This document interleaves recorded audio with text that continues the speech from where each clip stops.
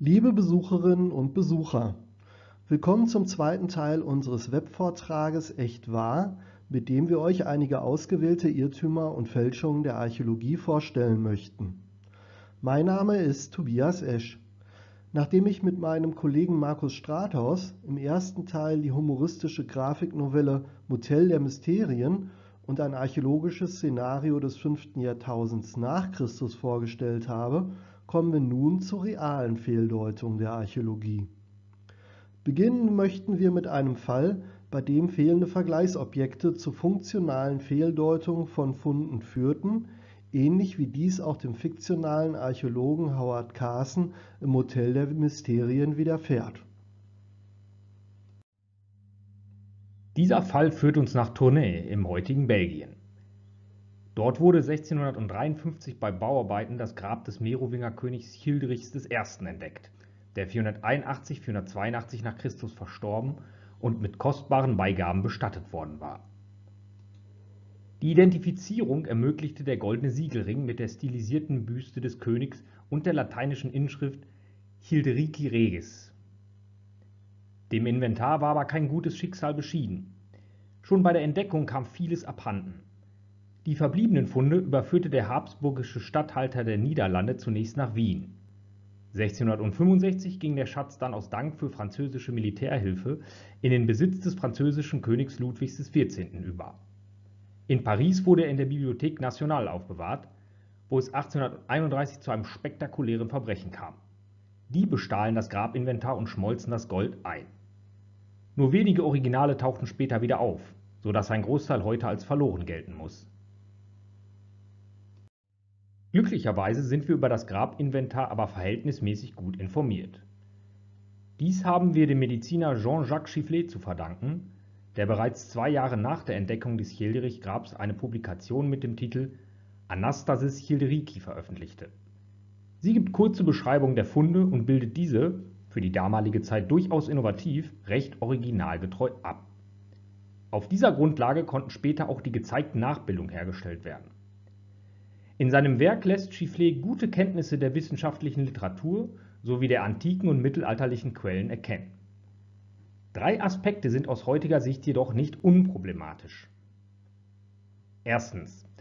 Chifflet konnte die Einzelfunde nicht mit dem archäologischen Befund kontextualisieren, da er bei den Ausgrabungen nicht selbst vor Ort war. Zweitens. Chifflet schrieb keine neutrale Abhandlung, sondern nutzte die Anastasis Childerici um den französischen Anspruch auf die Nachfolge der Merowingerkönige zu bestreiten. Dabei vertrat er eine pro-habsburgische Haltung, nicht zuletzt da er eng mit dem damaligen Statthalter, Erzherzog Leopold Wilhelm, verbunden war und diesem sein Werk auch widmete. Drittens, und dies ist für uns nun entscheidend, bei zwei Funden hat Chifflet ihre tatsächliche Funktion völlig verkannt und diese als königliche Schreibgeräte fehlgedeutet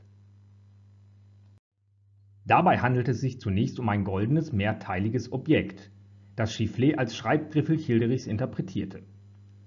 Auf seiner Tafel ist es in auseinandergebautem, geöffnetem und geschlossenem Zustand sowie im Gebrauch abgebildet. Die Beschreibung des Fundes verband Chifflet mit einer weitschweifenden Abhandlung über die Graphen. Diese hätten angeblich über das königliche Graphiarium gewacht und selbst über dieses Gerät verfügt, um, ich zitiere die Geheimnisse des Königs auf Schreibtafeln zu vermerken. Es sollte 200 Jahre dauern, bis sich der katholische Priester Jean-Benoît Désiré Couchet erneut mit dem Objekt beschäftigte und seine Funktion korrekt beschrieb. Er erkannte, dass es sich um eine sogenannte Zwiebelknopffibel handelte, also eine Gewandspange.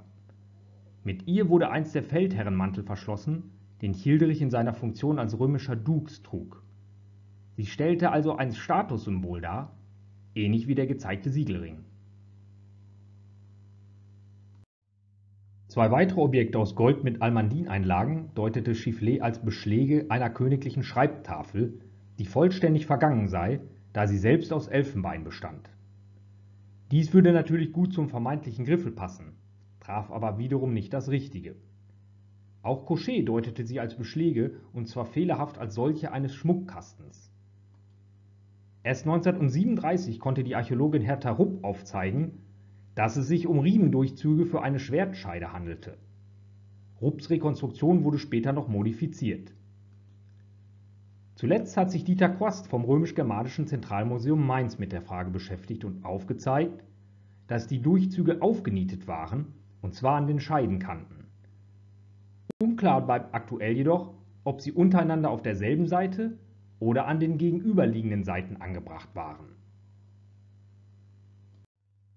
Hier seht ihr nochmals die Zwiebelknopffibel und die Spata aus dem Childerichgrab.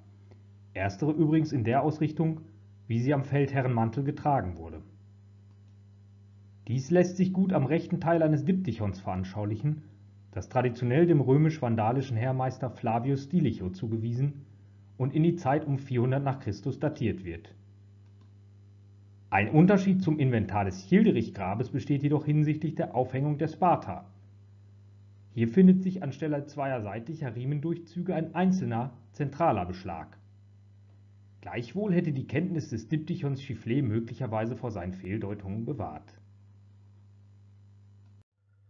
Unser zweiter Fall spielt im nördlichen Ruhrgebiet, genauer in Herten. Er zeigt auf, wie fehlende archäologische Kontexte zu falschen Interpretationen von Funden führen können. 1980 entdeckte der Rentner Paul Blaczynski einen kleinen Schutthaufen aus Feuerstein hinter seiner Gartenmauer im Stadtteil Disteln.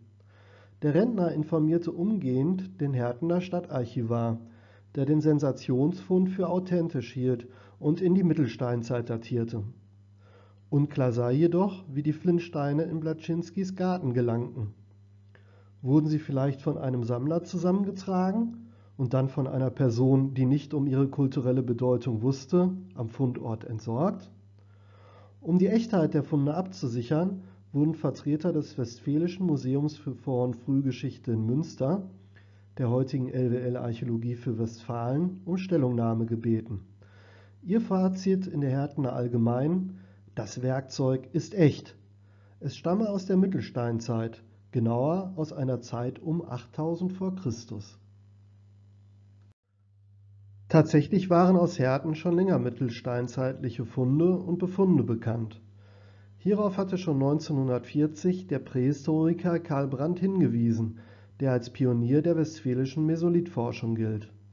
In seinem Buch Die Mittelsteinzeit am Nordrande des Ruhrgebietes beschreibt er unter anderem sechs Fundstellen am Fleutebach, einem heute ausgetrockneten Nebenarm der Emscher. Zwei dieser Fundstellen, Fleute 2 und 3, lieferten auch aussagekräftiges Material, das heißt Klingen, Kratzer und Abfälle aus nordischem Feuerstein, die erkennen lassen, dass die mittelsteinzeitlichen Steingerätehersteller die Ufer der Fleute als Werkplätze nutzten da das neue Material aus Blaczynskis Garten jedoch nicht aus nordischem, sondern aus belgischem bzw. südfranzösischem Feuerstein bestand, konnte es nicht westfälischen Ursprungs sein. Daher hatte das Landesmuseum auch kein Interesse an einer Übernahme, so dass die Flintwerkzeuge im Stadtarchiv verblieben und fortan als Anschauungsmaterial an Härtener Schulen dienen sollten. Doch schon bald folgte die Enttäuschung. Durch Zeitungsartikel wurde das örtliche Fleischwarenunternehmen Hertha auf den Fall aufmerksam und konnte Entscheidendes zur Aufklärung beitragen. Der Firmeninhaber Karl Ludwig Schweißfurt war sehr kunst- und geschichtsinteressiert und ließ beispielsweise das firmeneigene Bürogebäude mit Werken zeitgenössischer Künstler schmücken, darunter eine Installation des Berliner Aktionskünstlers Wolf Vostell 1978 gab Schweißfurt bei Vostell einen sogenannten Messerkalender in Auftrag, der an Kunden und verdiente Mitarbeiter verschenkt wurde. Diese Präsentkoffer sollten moderne und historisierende Fleischerwerkzeuge enthalten, darunter eben auch bearbeitete Feuersteinklingen. Hierfür entsandte Schweißfurt eigens Mitarbeiter ins belgische Spienne, berühmt durch seine steinzeitlichen Flintminen einer der Mitarbeiter, Klaus Kyrol, erinnert sich: Das war ein ganz kleines Nest, hör mal. Wir fuhren raus in die Felder. Auf einem Acker sah ich Steine liegen. Die sahen aus wie kleine Fußbälle, wie kleine Kugeln. Dort haben wir dann im Regen stundenlang die Steine zerkloppt. Da die Mitarbeiter aber viel mehr Material aus Bienne nach Herten brachten, als für die Präsentkoffer benötigt wurde, kippte man den überflüssigen Flint zwischen dem Firmengelände und Blaczynskis Garten ab. Bei ihrer Herkunftsangabe lagen die Archäologen aus Münster also richtig. Bei ihrer Datierung scheinen sich dagegen um 10.000 Jahre vertan zu haben. Oder waren bei der Beschaffungsmaßnahme vielleicht auch steinzeitliche Werkzeuge aus Bieren nach Herten gelangt? Dies wird sich erst klären lassen, wenn Blaczynskis Funde wieder auftauchen sollten. Ihre Spur verliert sich vorerst im Hertener Stadtarchiv. So viel zum zweiten Teil unseres Webvortrages und zu Irrtümern der Archäologie. In Kürze folgt dann der dritte und letzte Teil mit archäologischen Fälschungen. Bleibt am Ball und vor allem bleibt weiterhin gesund.